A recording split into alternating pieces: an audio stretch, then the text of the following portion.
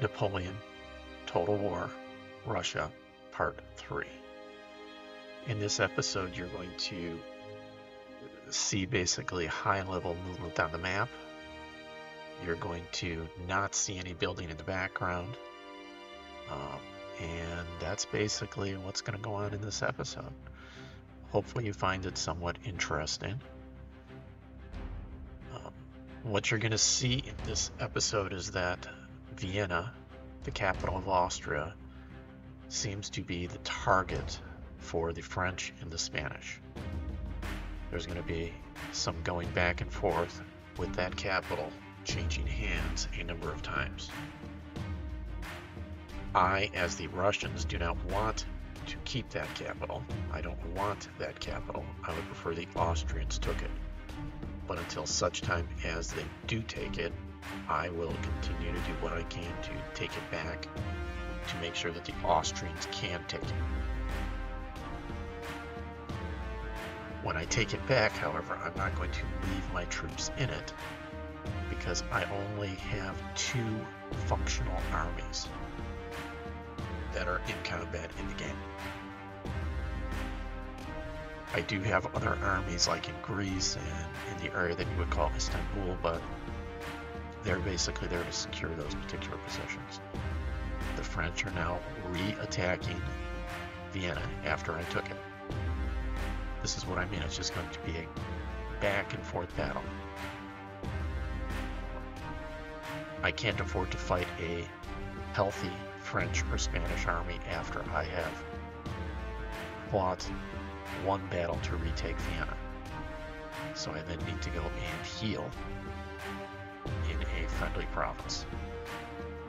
What you're going to see here now is me basically beefing up one army so that it's more on par with an actual army. This is me basically starting to contemplate what I want to put in my second army where it should be. Because in order for me to push against the French, I need more armies here, or I need to alter my tactics. Here I am going after Vienna again after I've hit a, a turn or so to heal, reoccupying it, taking it back, gonna heal what I can so that when the Austrians take it or if I take it, you know, hopefully it's, excuse me, in better shape. So there I am again moving away from the city. Push these French back. The other thing you're going to see here is you're not going to see any actual battlefield battles. Everything you're going to see is going to be auto-resolved because I'm doing this at a high level. Just so you can understand tactics at a high level on the game map. That French army is very weak. It's too weak to even make an attack against, you know, Croatia. So it's not something I really need to try and defend.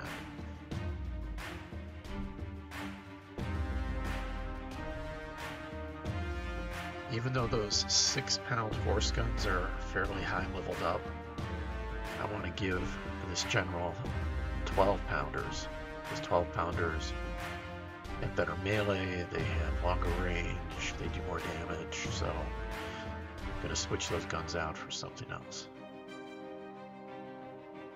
So I'm going to add the 12 pounders in here. Okay.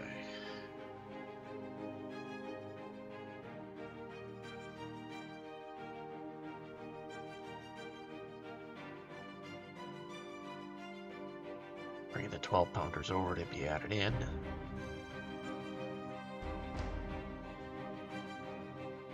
That second army is very, very small now. It's very, not very effective. It's going to take some time to build it up.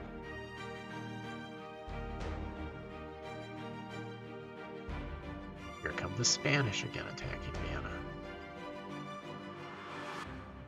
That's a full stack. That's going to be a hard one to push out.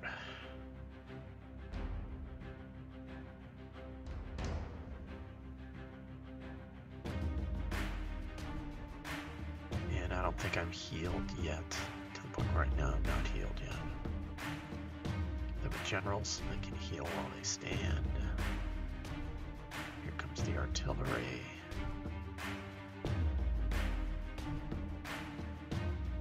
Better. Much better. Okay. We have to drive the Spanish away from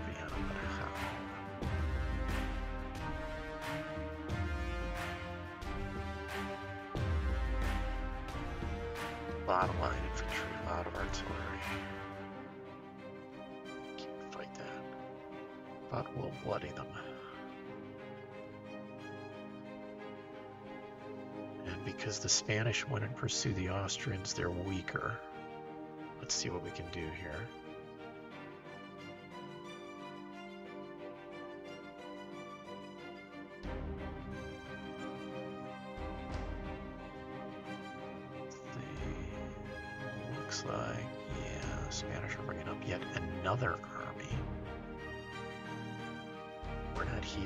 Yet, so it's probably not a good idea for us to attack.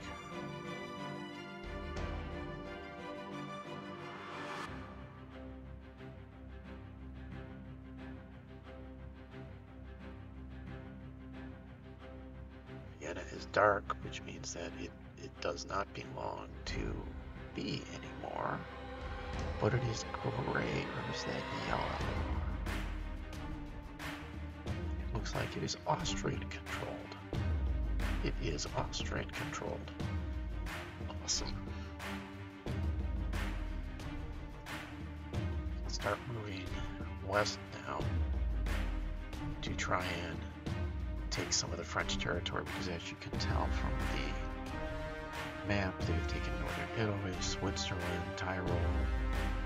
That's a lot of extra money they have in their pockets right now. So we'll take some of that away.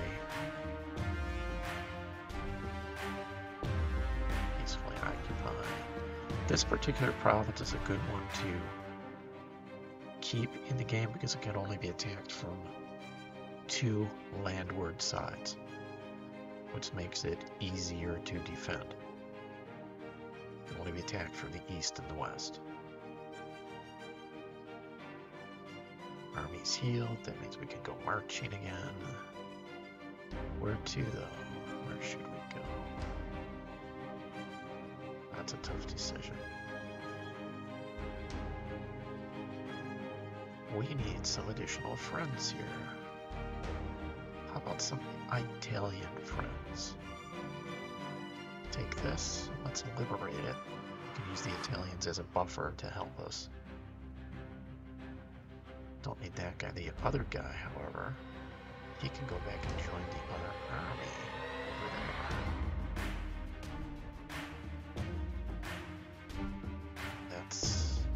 very, very slowly building up to be an actual army. Sneaky Spanish. Snuck all the way down there. Attacking Istanbul. Got it under siege. Glad I have a second army up there in Bohemia.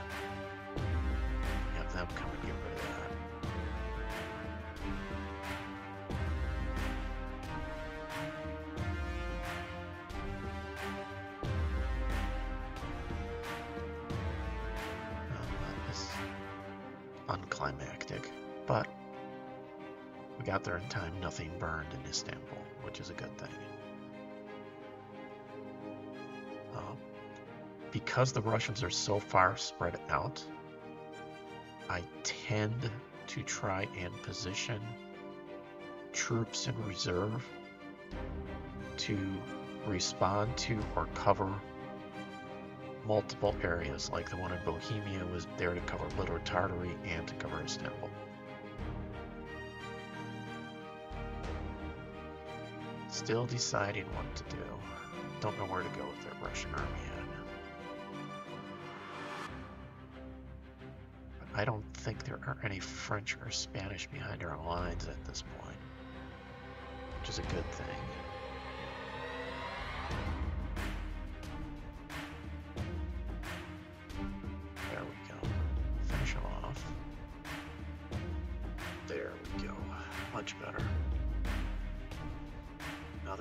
Up roughly to where they were.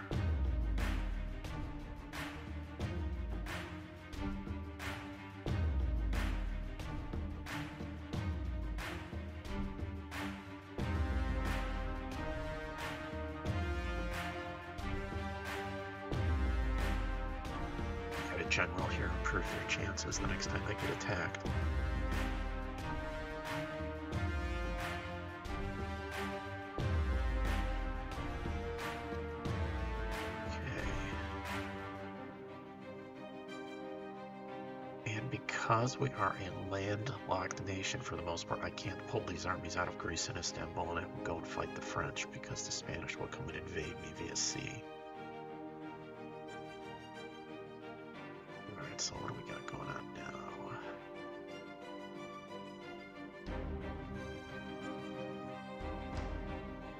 Not a bad army, but it's not a good army yet.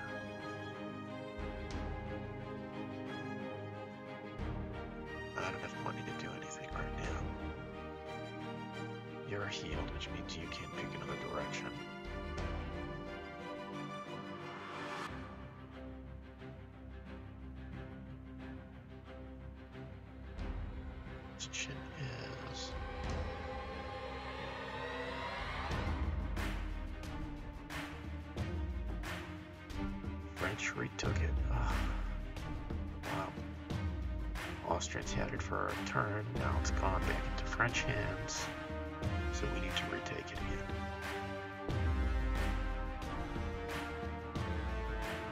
Slowly but surely his army is leveling itself up, which is a good thing.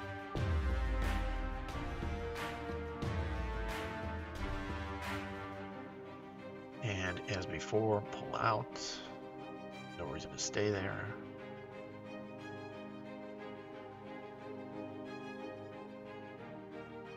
French army in Tyrol. Ugh.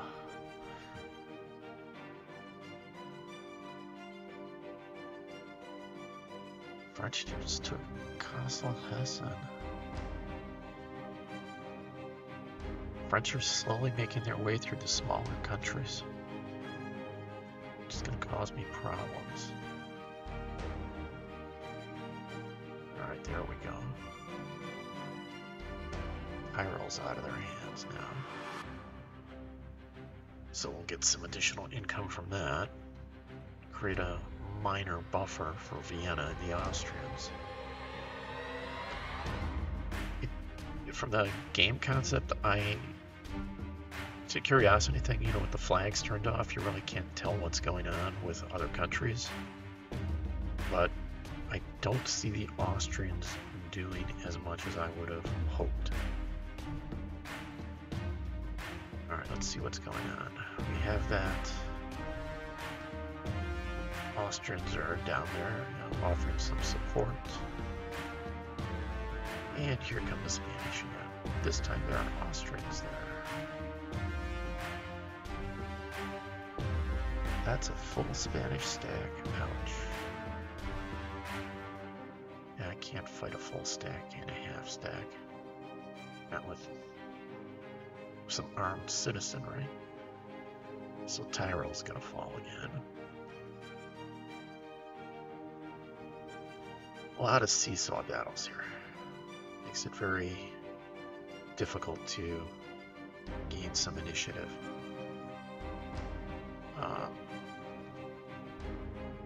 Reason we didn't do anything in Piedmont is I'm actually hoping that the Italians will take that province. Because then I'll have a few turns before it's reattacked by the French. Okay. We've taken out the Swiss now. And we admit that that's a protectorate. Typically the French don't reattack that that quickly.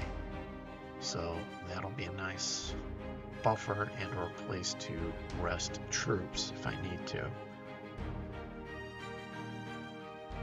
I have to move back up into there and retake Tyrol now. Oh, says we got a good advantage. It's a lot of line troops though. My troops are better. Victory, yes. But we are damaged now significantly.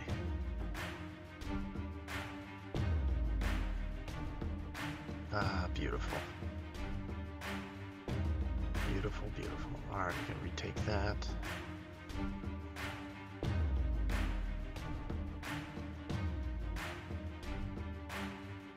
Don't want to stay there because if I get hemmed in, it's my best army at this point.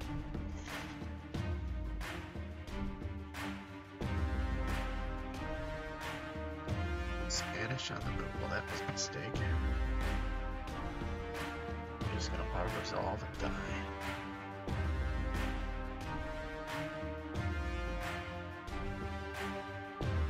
Feeling at a reasonable pace there. Let's pull back to there.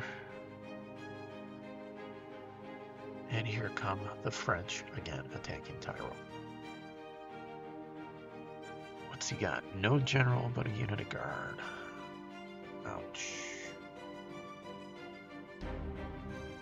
So we can retake that after a turn or two if you like. Which will be good. And here we go again. Retake that.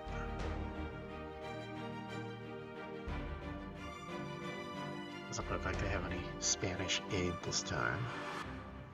Nice thing about destroying the Spanish out here is it takes them many turns, I would guess.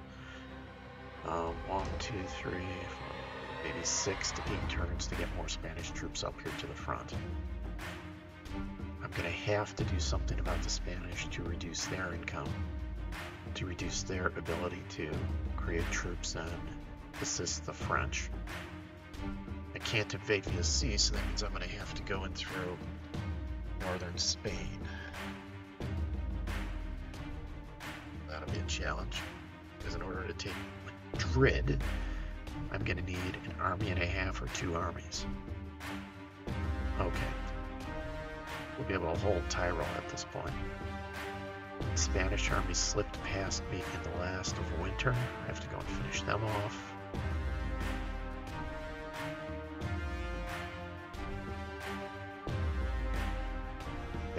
Healthy. We're not as healthy as they are, but we have no choice. We have to. Because if we don't fight them, they'll sneak behind us and they'll take Venice. Okay, there we go.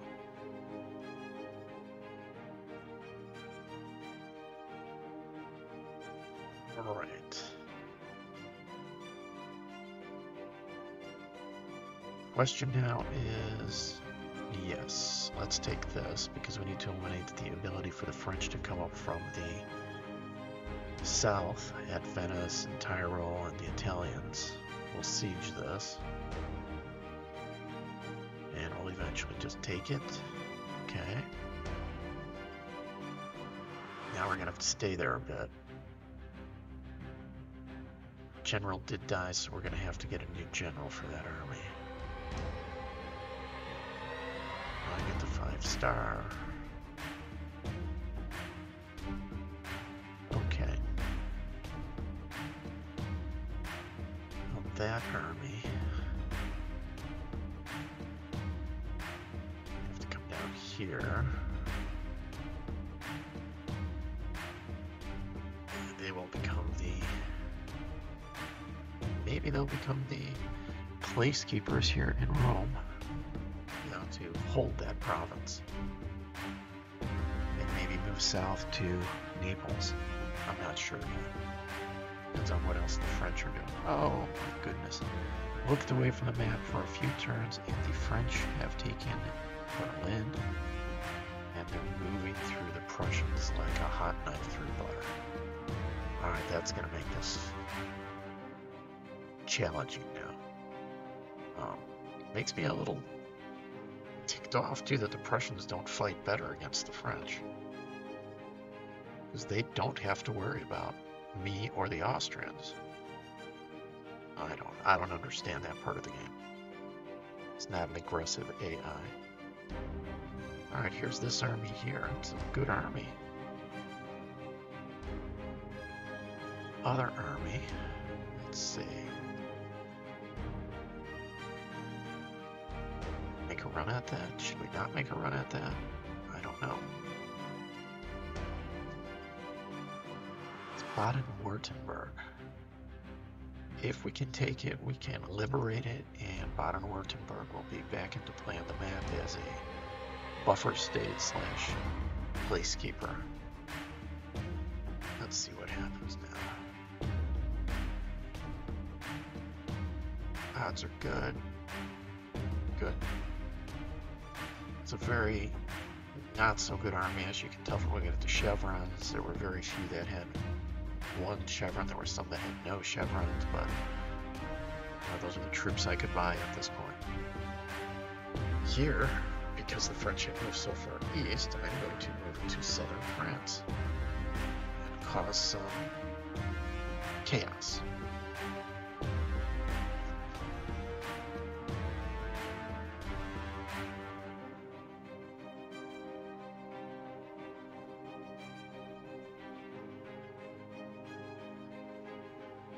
Okay, what else can we see that's going on here now? You can see that we're moving into southern France now. This is going to be the first province we attack that it's actually part of France proper. I'll take that out. Peacefully occupied for now because I want to... I need this for a turn or so to heal.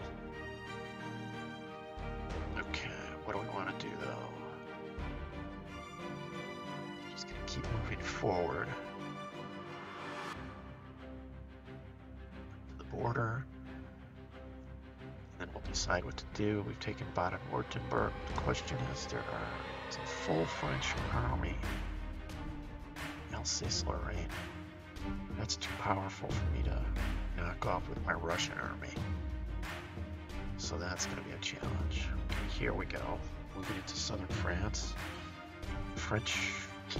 We basically got behind the French. They have nothing defending their rear at this point, so we're going to do as much damage as we can to them economically as possible. We're also going to try and hurt the Spanish too. So let's see everything we can do at this point. Alright. I don't want to keep any of these though. Because I'm trying to cause chaos, I'm going to just basically burn everything down.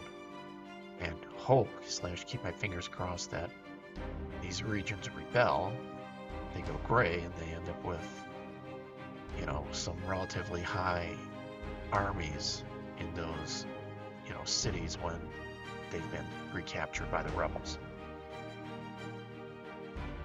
I don't, however, want to do that to Catalonia. Catalonia is a good place for me to use as a rest stop, like Switzerland. I go and fight, I can go back in there and I can heal. This army, I can't push through on the north, so maybe I can, I don't know, maybe send them south or make a run at Paris, I'm not sure. But we'll see. Okay, that one's totally burned down, that one's burned down. Good. There's no French coming at this point. Okay, so here's this one. Okay, take this one out. Catalonia into the game. That will help me. There. Can't use the troop, but we can use the troop to prevent them, as in Catalonia, from trading with the Spanish. Which is a good thing in itself. Okay, now we can leave. Wow, the French are all the way to my border now. Wow. There's like almost nothing left of the Prussians. Nothing. Hopefully what I'm doing here will have some effect on the French and they'll pivot towards me. If they don't, they move into Russia, and this is going to be a very short game. I'm hoping to take this to 10 or 11, you know, episodes. That's good, that one rebelled. That means that it is no longer French. That's a good thing. Minding myself to make a run on Aquitaine now. Do the same thing there. Don't want to keep it, just trying to cause havoc. And the other thing too is the more territories I can get to rebel, that's going to impact trade between Spain and France. It's a good army, it has a lot of chevrons. The artillery's loot it and then burn it down. It's a, I don't know if it's looting and burning everything down. I don't know if it's a tactic you guys have tried, but you know, if you're looking for money and an easy way to you know, hurt your opponent, that's what you do. Not going to burn down the supply house until it's absolutely necessary because it will allow my troops to heal faster. I am going to go after Pamplona, Navarra, and do the same thing there that I did to the two French regions in the south. I'm going to take it, I'm going to burn it down, and hope it rebels. And then that, in theory, will bring the Spanish down to three regions, Spain, Gibraltar, and the islands to the east of Spain. It's not a ton of it, it's what I need to do. Now the one thing you don't see here is I'm looting, I'm getting a lot of money, okay? Um, I'm intentionally not showing you that part because what I'm doing is I'm building up the infrastructure in Russia, the resources in Russia, and building an army to come and face the French used to be Poland as a Prussian territory. I'm going to have to go in move my way through there. Okay. But that army has not been totally built yet, so you don't see it moving on the board yet. It's not, you know, anything that's going to have any impact on points at this point. Points or dollars, I guess that's a better way to put it. Alright, so we're going to keep going north here because we want to do the same thing to Britannia that we've done to southern France. We're just trying to damage the French as much as possible. What I see there is about a stack and a half in Paris. It's a lot of troops still. But we will do our best to do as much damage as we can. That's all for today. If you like my content, please like and subscribe. Thank you very much.